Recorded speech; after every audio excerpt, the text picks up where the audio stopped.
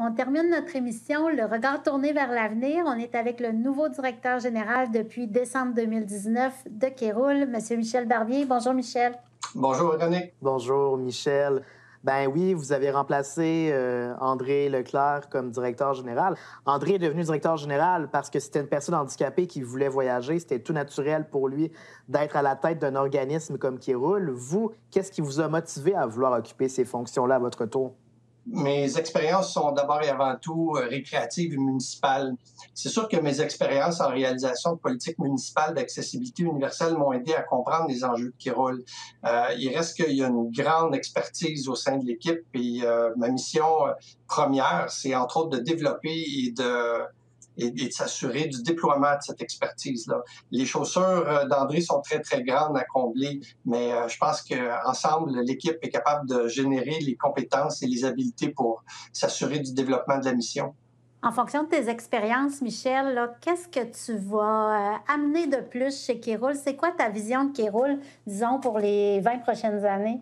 Tout d'abord, mon premier enjeu, c'est de s'assurer que le développement de l'organisme se fait avec un arrimage, le plus grand arrimage possible de, euh, la vision du conseil d'administration qui est euh, extrêmement euh, compétent et adapté aux orientations et à la vision que développé qui roule au cours des dernières décennies.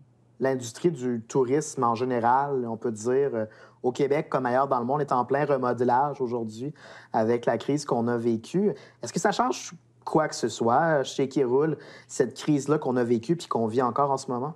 Absolument, c'est une opportunité. Dans toutes les grandes réorganisations, dans tous les grands changements qui ont bouleversé les industries, les entreprises ou les sociétés, euh, il faut toujours prendre pour acquis que ce qui change est d'abord et avant tout une opportunité.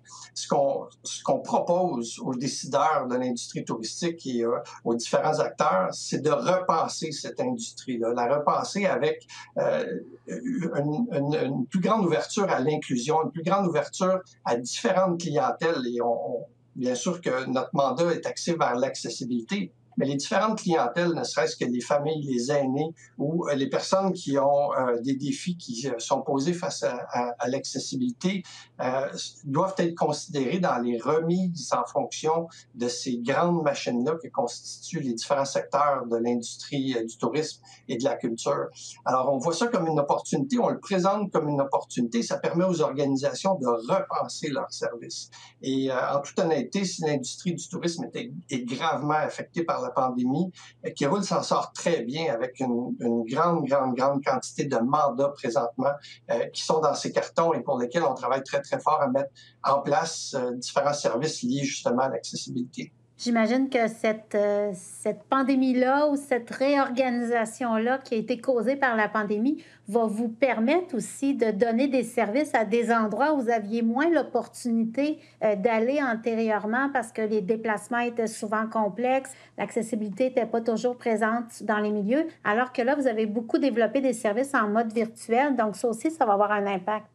Tout à fait, parce qu'on met présentement beaucoup d'énergie et de plus en plus de temps à travailler auprès des, des grandes organisations. Euh, je peux penser à Via Rail, Parc Canada, la CEPAC, à travailler à, à, intégrer l'accessibilité dans leur plan d'action, dans leur processus et dans les directives. Mais on pense que l'intervention qu'on qu fait présentement, qui est de plus en plus organisationnelle, qui ne ralentit pas euh, en contexte pandémique, ben on pense que ça génère non seulement des solutions con concrètes, mais des mmh. réflexes et des opportunités extrêmement intéressantes. Tout ça pour faire rayonner le Québec comme destination touristique accessible du futur, espérons-le. Ce serait une belle fierté. Dans tous les cas, merci beaucoup aujourd'hui pour votre visite. Bonne chance pour vos prochains mandats. Merci beaucoup. Au plaisir.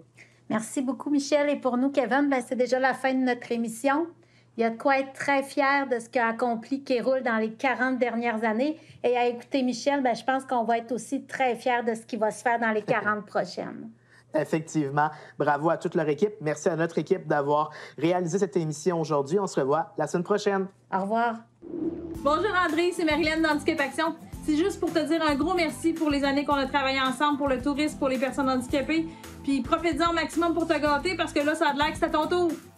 Puis un grand merci pour les 40 ans que tu as fait pour l'accessibilité et le tourisme au Québec. Donc, je t'en remercie beaucoup.